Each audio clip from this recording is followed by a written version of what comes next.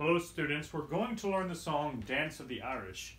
The purpose of this video is to give students a visual aid in their daily practice outside of their regular scheduled lesson time.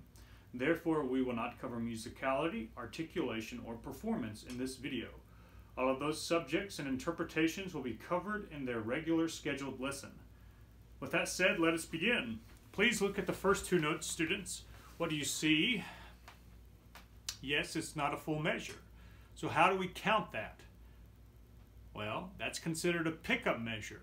All pickups, uh, you count backwards from the first measure. So we have two eighth notes. Two eighth notes equal one quarter note. So that means it's one beat in this song.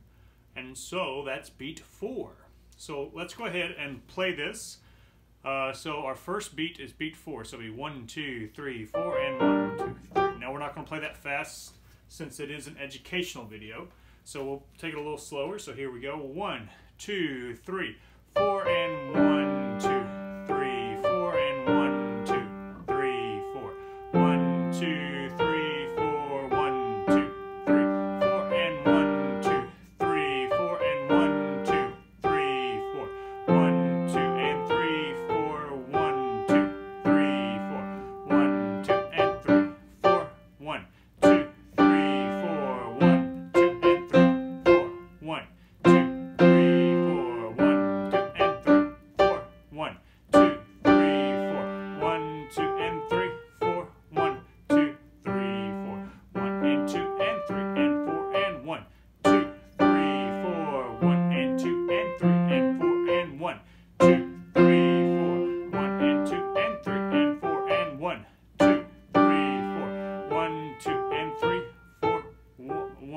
two. Now go to turn the page, move your left hand down.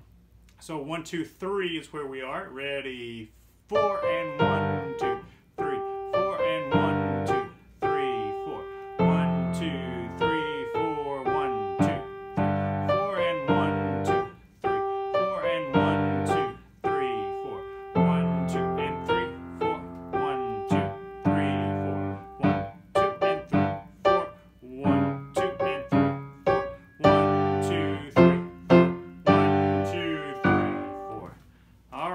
students, like always, happy practicing.